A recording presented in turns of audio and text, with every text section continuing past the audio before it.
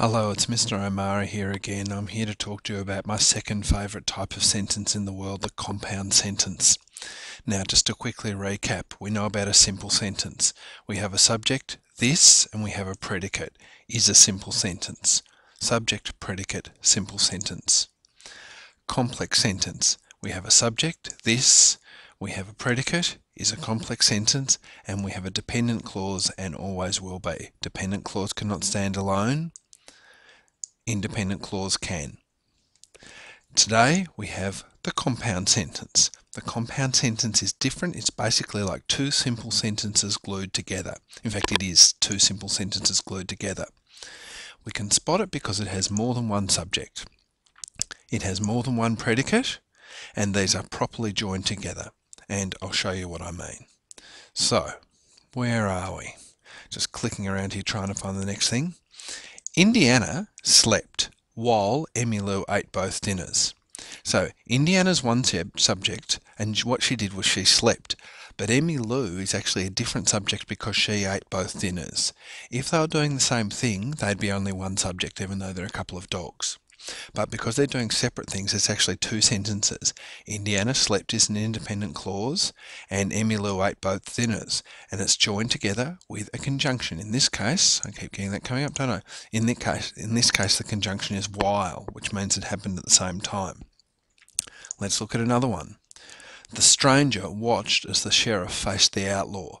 The stranger watched, that's one sentence, subject, predicate, as is our conjunction, that's our proper joining, and the sheriff faced the outlaw. This is how we join two sentences together. Now this is much more powerful than, powerful than you might imagine.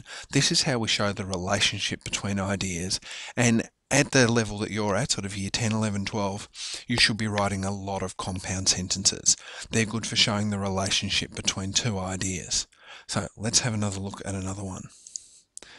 Indiana and Emmylou slept while the rain fell on the roof. Now in this one, the first subject is Indiana and Emmylou. They're not two subjects because they only did one thing. They slept. While is our conjunction, and the next subject is the rain because it fell on the roof. Dog sleeping, rain falling on the roof. It's basically two sentences, and what's joining it together is the while. Now you'll notice that here we've got a comma. Some people will tell you that you shouldn't put a comma before a conjunction, but I can tell you that that's absolute nonsense. If you need it to make it clear that you're slightly changing tack, or that you're basically going from one idea to another related idea, I think a comma can be really useful.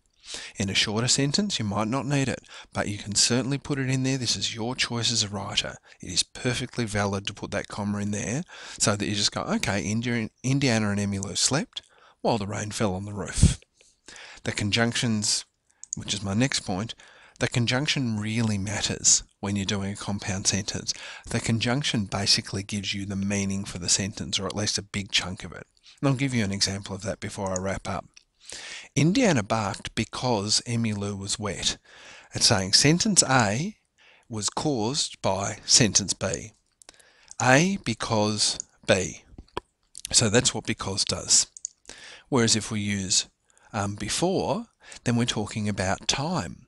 So one was talking about cause and effect, but if I use before, Indiana barked before Emmylou was wet. It doesn't say what caused what, but it gives us some temporal information about time. Next, we have Indiana barked, but Emmylou was wet. Now, but is one of those fantastic multi-purpose conjunctions, and but what but mostly does is it refocuses your attention. You know, Indiana barked, but the important thing, which is what But always says, here's the important thing, Emmylou was wet. So that's kind of for refocusing. So, just to quickly recap, a compound sentence has more than one subject, it has more than one predicate, so it's basically two sentences and they are properly joined. They can be joined by a conjunction and also by a semicolon, but I'll talk to you about that another day. So that's the end. I hope that's been useful.